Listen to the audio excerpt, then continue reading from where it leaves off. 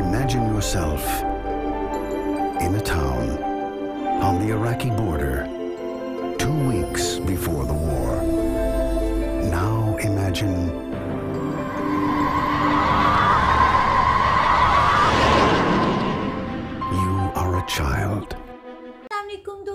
उम्मीद है कि आप सब खैरियत से होंगे।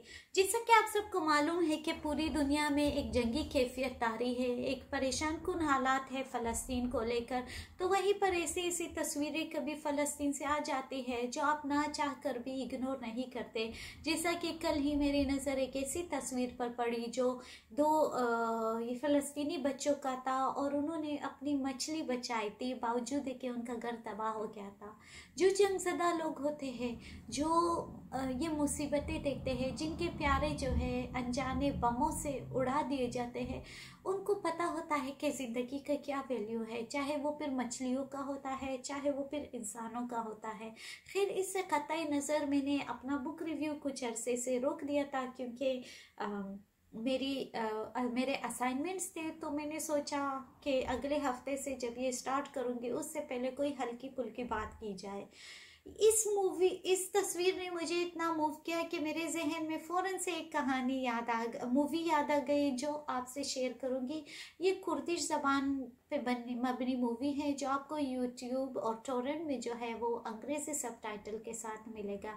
इसको बनाया है बहमन कबादी नामी एक प्रोड्यूसर राइटर और डायरेक्टर ने जो कि ईरानी निजात कुर्द है और अब आप सोचेंगे कि ईरानी निजात कुर्द क्या है तो बेसिकली कुर्दिस्तान जो है एक ख़त्ता है जो चार मुख्तलिफ़ मुल्कों पर उन्होंने कब्ज़ा किया हुआ है, जिसमें एक शाम है, एक इराक़ है, एक तुर्की है और एक ईरान है। ये इनका जो ख़त्ता है चार हिस्सों में तकसीम है और ये सारे ममालिकों ने उन पर कब्ज़ा किया हुआ है।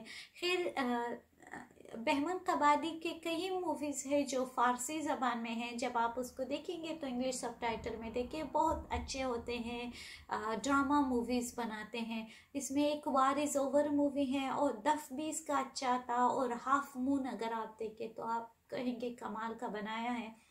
मगर इससे हटकर जो मूवी है टर्टल्स कैन फ्लाई इसको फ़ारसी में कहते हैं लाख पुश्ता हम परवाज में कुना जो इसका एक्चुअल टाइटल है, और जिससे हम उर्दू में कह सकते हैं कि कछुए भी उड़ सकते हैं।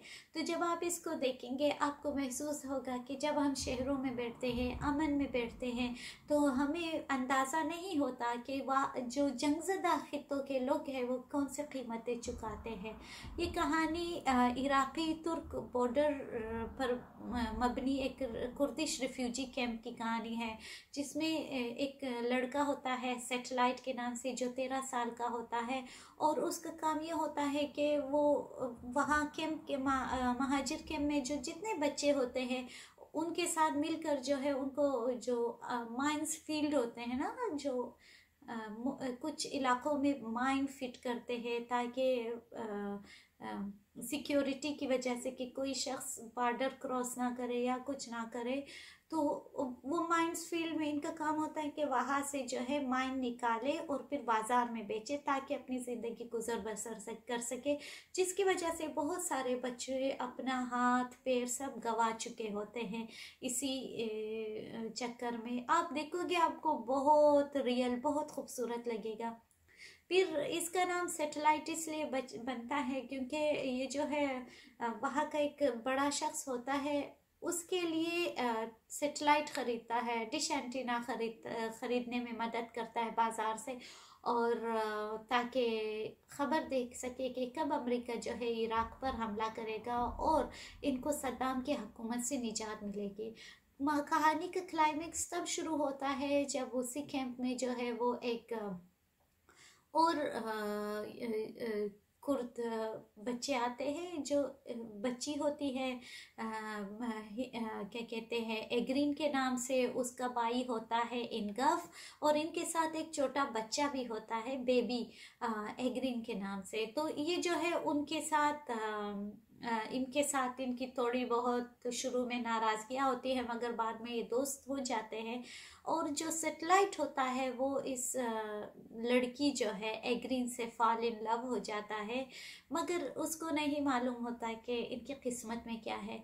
फिर आपको मैं ये बता दूँ कि एग्रीन इनकी अलग कहानी है। इसका भाई जो है हिनगफ ये प्रिडिक्शंस करता है, पेशगोइया करता है। तो आप जब ये मूवी देखें तो मैं, क्योंकि आपका ख़राब नहीं कर सकती इंटरेस्ट कि इसमें फ़र्दर क्या है, मगर मैं आपको ये बता दूँ कि आप लोग ये मूवी ज़रूर देखें। जब आप ये देखें तो ख़ुद को रिलेट करें उन जंग ज़दा बच्चों से, उन महाजिर ख़ानदानों से, जो अपने घर बार सब कुछ छोड़ कर जो है, अपना ज़मीन, अपनी शिनाख्त सब कुछ छोड़ कर किसी और ख़त्े में जाते हैं और अपने बका देखते हैं। इस मूवी से एक और भी बात है कि जब महकूम कौमें देखती हैं कि उनको निजात, कोई बड़ा साम्राज्य या ताकतवर आने, निजात देने के लिए आएगा, मगर आया ऐसा होता है या नहीं होता? जब ये सब कुछ आप देखेंगे तो आपको लगेगा कि जंग और फिर जंग का जो बयानिया है वो कितना ख़तरनाक है और इसके असरात बच्चों पर कितना गहरा है ये मूवी ज़रूर देखें और मुझे भी अपने आगा से राय से आगाह करें कि आप लोगों ने ये मूवी देखी है या नहीं बहुत शुक्रिया Beyond imagination of a tribe of orphans building their own small nation any way they can. Their fearless leader who brings the world to his elders by satellite dish. His rival a prophet who can see their future. His inspiration, the girl who awakens his spirit, but will not let him see her heart.